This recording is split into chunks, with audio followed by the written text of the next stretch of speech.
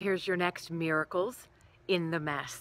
It is time this weekend with loved ones in your home to think about everything you can purge. Right now, it's time to purge. Take advantage of time with your family, with your loved ones, whether it's you, significant other, if it's simply you and your family and your children, give everybody an opportunity to go on a treasure hunt.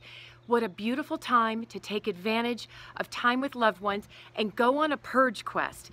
Purge, get projects, let everyone pick a, a closet, a box, a cabinet to purge, to clean out, because there's always someone that can benefit from the things we no longer need that we've been blessed with.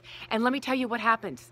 You will be on a treasure hunt. I just did this yesterday, and in the midst of purging, I found two gift certificates free for massages. I called and they said, hurry up and get in here. We're closing at five o'clock. So there's your miracle in the mess. Take time to purge and go on a treasure hunt. And thank you, Lucy and Susan and Jeff and Angela and Kathy and Amy and all the amazing people that are sharing all your miracles. Mwah. I love you, and there's miracles everywhere. Keep sharing them because I'm going to do a huge shout out and share all the ideas that you've been sharing with me. That was Miracles, day three. Bye.